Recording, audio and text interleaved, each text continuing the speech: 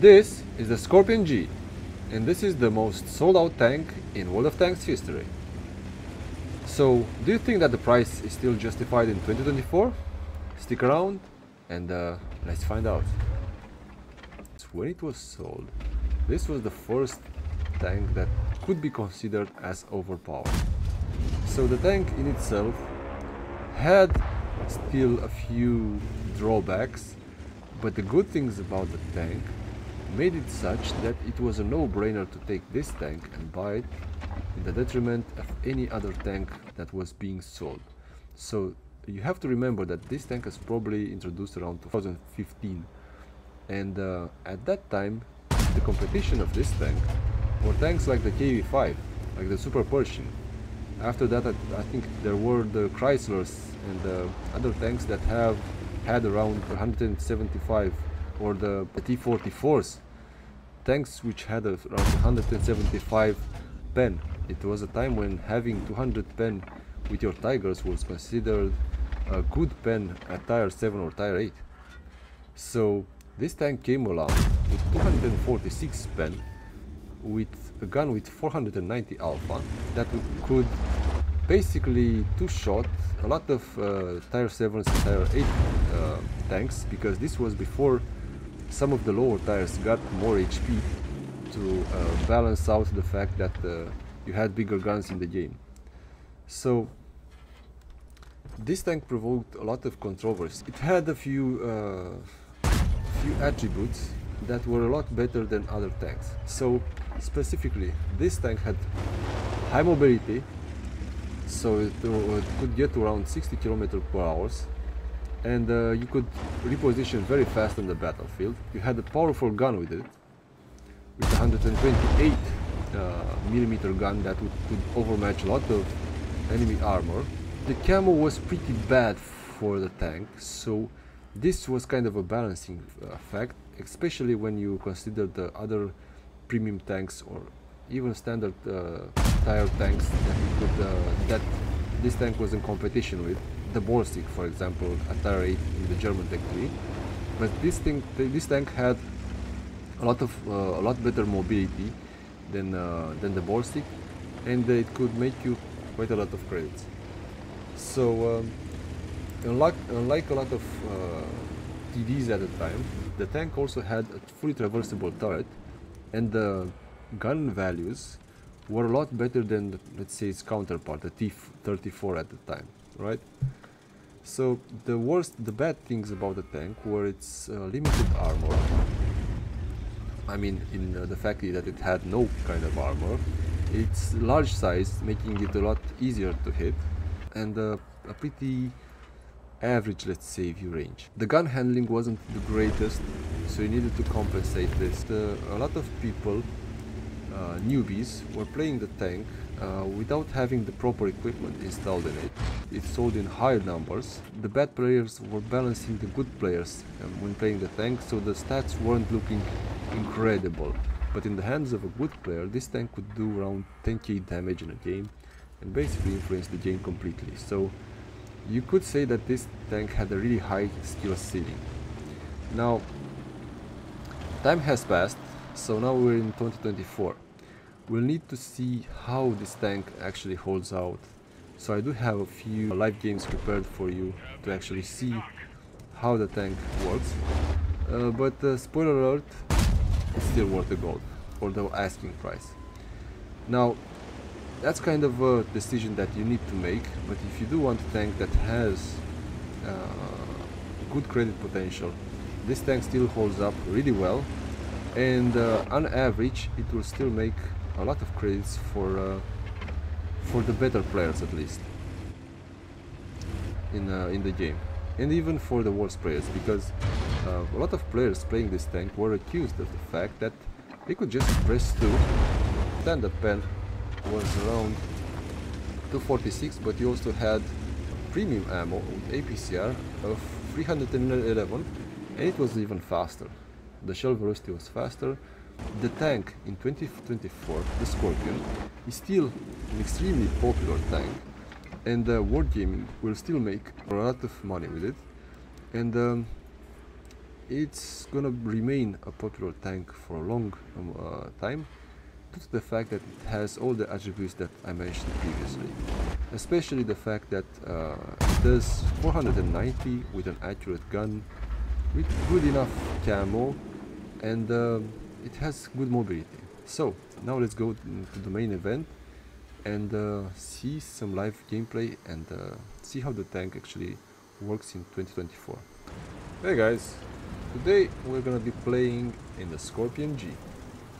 This is probably the first overpowered tank that was introduced in the game and uh, we do want to see after a few years if the tank is still overpowered and if it's still worth the asking price now in 2024 or um, has its time passed due to the fact that a lot of other better tanks have appeared uh, in the meantime. Now we're gonna st stay in a typical bush for now and let this uh, gentleman over here in the nomad tank or the charioteer however you want to call it take the lead for a change and maybe we can get a few shots in. Oh, there's another fast skorpion. Yeah, he went over there. Also, also there's a bat chat. If the bat chat does intend to appear, then we should be able to greet him.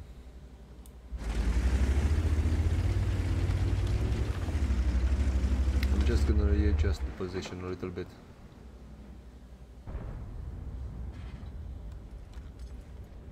That's an aggressive Udes. That was a really aggressive Udes. And now the bat chat is pretty greedy and he will get away with it most likely.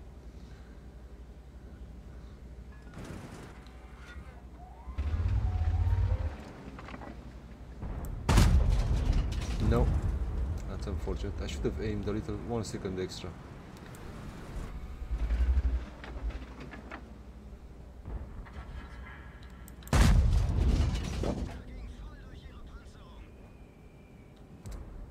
Hopefully the T10 can survive just a tiny touch more.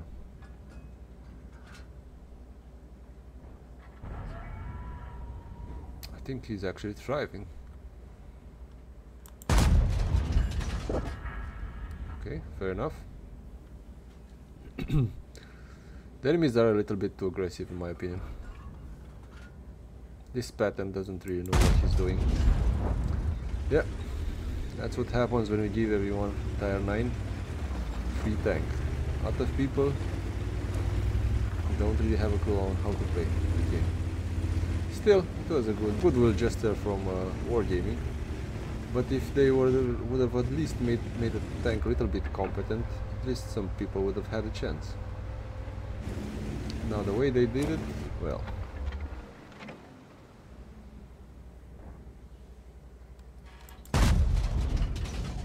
Not the best. I'd say not the best.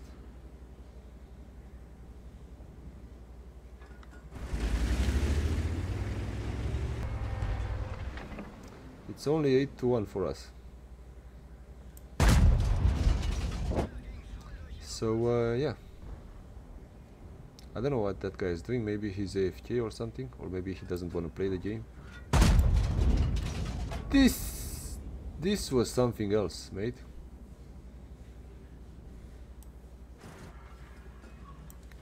I do know that that guy is still over there, but I can't really shoot him. I don't know why.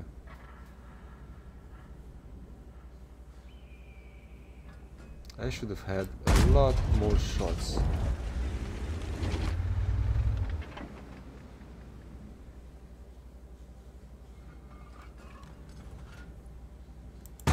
Is the Udes still over there?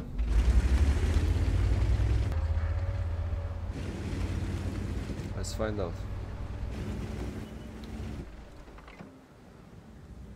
Yeah, he's still AFK. And uh, yeah, the Skorpion. What can I say? It's a tank that will do a lot of damage and uh, yeah, it's a pretty pretty nice gun, gun platform. And uh, from what you see over here, at least when it's not being shot at, the tank would appear to be worth it. But uh, we need a bit more evidence to, to actually to actually say for sure, right? So this was actually missed all of those shots. So this was a 3.5k damage with uh, a chunk of profit. 12 shots fired, 8 hits, 8 pens. Second on experience, first on damage. So, uh, okay, let's go for round number 2. Alright, now uh, we're gonna see if the Skorpion actually works when it's in a more favorable uh, environment, in a more favorable tier wise. So the Skorpion when it, when it was first introduced it sold so fast and so big that actually in uh, six months later the Wargaming introduced basically another Skorpion which they called um, the Su-130 PM which was basically the Russian variant of this tank and uh, that that tank had um, 30 more uh, alpha. And uh, I think it also had a little bit more pen if I don't I'm not mistaken. But the problem is that it didn't have the fully traversable turret. So it was a good tank. Oh come on. It was a good tank as well. But uh, it wasn't exactly didn't have the same kind of flexibility as this one. But in true Russian fashion they made it so stealthily that that tank could have could fire quite a lot more without any kind of issues. Come on ACU STRV you do wanna come over here. Now the main difference is that I can take a shot from this guy without any issues. He's a teaser, okay, fair enough.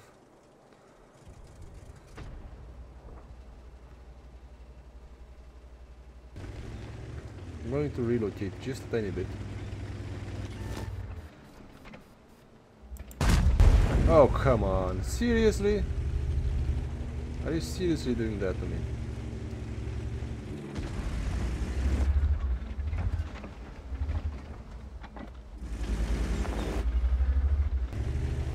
It seems that uh, the enemy team is trying to actually advance over here. Hello, IS.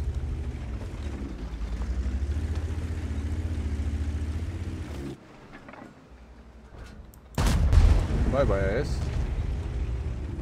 Bravery goes hand in hand with stupidity. No?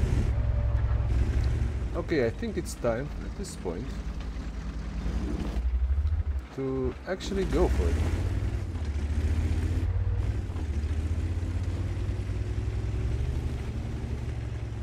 Because I think that our team is going to win this one. And uh, I kind of get bored by just staying and sniping all the time. I'm gonna play this tank as a medium.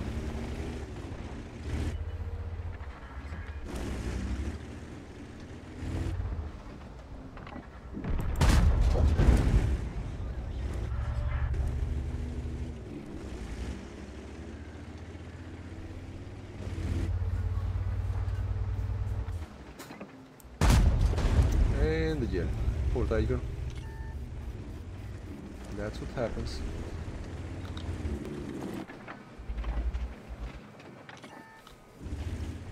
Okay, so the STRV is still here.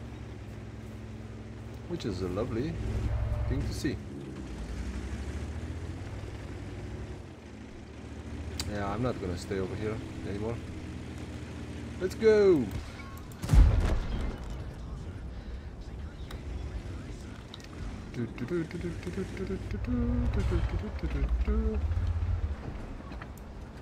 Goodbye. And that's why the Skorpion was thought to be by a lot of people as a kind of an overpowered tank to the fact that it was good enough to actually uh, push sometimes, you know? It's really, really easy to do good damage in the tank. Alright, now we're gonna see how the Skorpion does when uh, it's actually the top tier. So I'm gonna go to my favorite bush when uh, I'm starting on this side, on this map, and I'm gonna just um, do the bit of gardening over here because I don't really like the way the trees are um, arranged and I'm uh, hoping that uh, my IS over here is going to actually spot something or gonna get shot at and spot a few enemy tanks. Yep, he just goes for it. Oh come on, seriously the, the wheel. It's one of those moments when you, just hit that road wheels.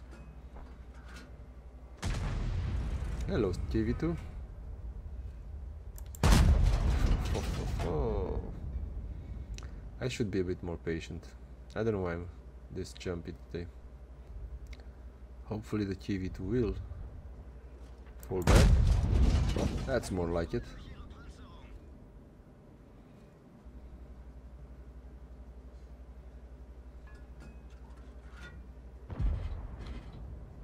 I mean, this guy is just... You shouldn't do that, mate.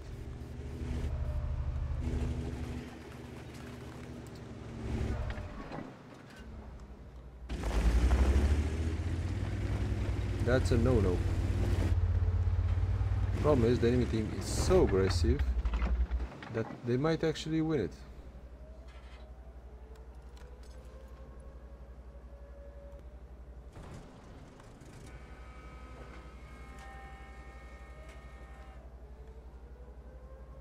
Okay, fair enough.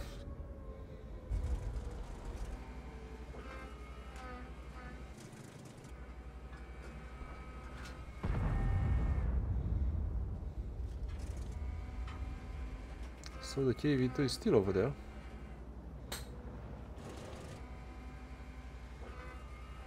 The main issue with this tank is the fact that it moves the turret a bit too slow for my taste, but it's a TD so can't expect it to be completely overpowered. Or can you? No?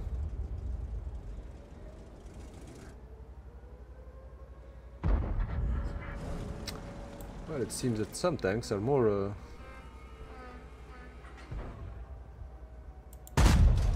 Oh, this tank takes a long time to fire. Uh, that's shot, mate. When you're trying to snipe with this tank, you need to give it way too much lead. I'm used to playing tanks that have a little bit less lead time. I don't know why, but it, it just doesn't work now.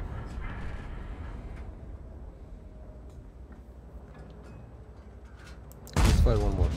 Nope. It's way too up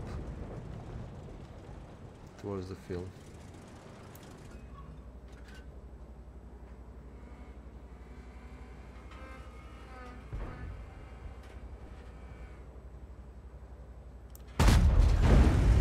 Okay, so this guy has been uh, shot at by this. See if we can actually get this guy in the right. That's more like it. KV1 to do. A big hit over here. Does he move? That's the real question over here.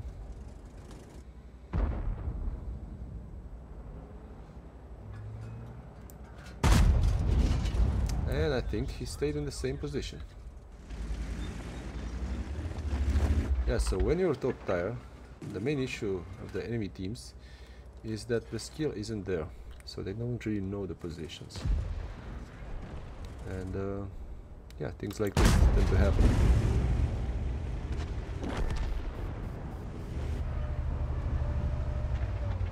Now the Polak tank will try to fire towards me.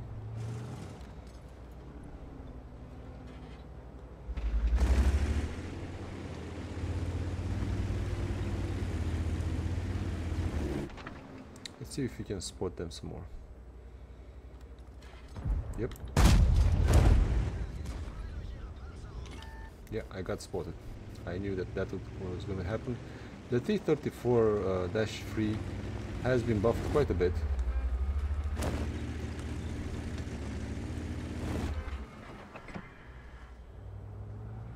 Now I don't expect the T-34 to stay in the same position right now. Even a broken clock can fire twice properly. I don't know why, but I do have a, little, a lot more success on this map than on other maps. I think due to the fact that games tend to be a little bit longer, and I do like the games which are longer. No? I think that the Pollock tank is actually a pretty decent player. Now if you would just tiny little bit advance, then that would be lovely. Okay, I think at this point in the game, you just might be able to advance, progress the game.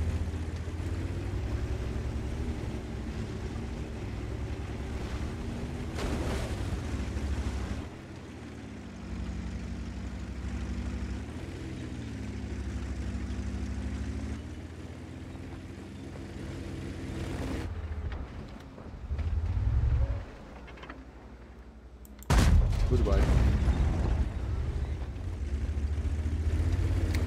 When you don't really have the angle, you need to create an angle.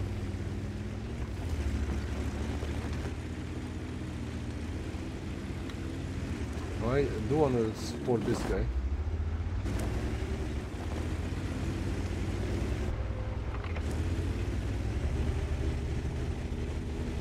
And at this point you can see that the Skorpion does have quite a bit of mobility in order to change flanks and uh, yeah just be a nuisance no?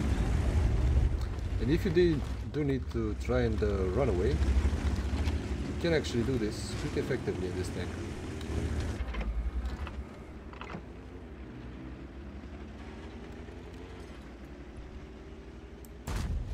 Come on. Should have aimed it just a little bit lower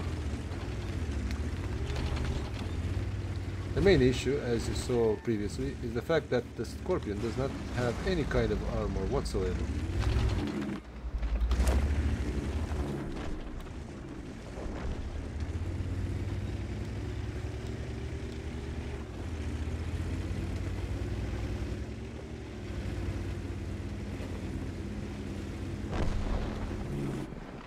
Hello, Basotto.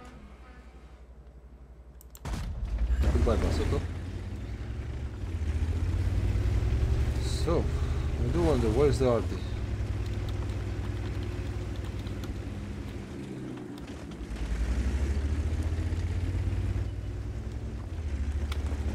There we are.